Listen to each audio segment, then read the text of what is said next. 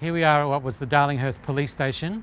I arrived here in a paddy wagon after midnight on uh, June 24, 1978. There were 53 people jammed into cells here. I was taken away separately uh, for whatever reason and uh, really bad, bashed badly in a cell and then put, put in another cell by myself. Uh, all the people who hadn't been arrested had marched here and were outside yelling out, let them free, let them free. And uh, they, they raised all the bail to get everybody out uh, that morning. Many more people were arrested soon, soon after in the following weeks.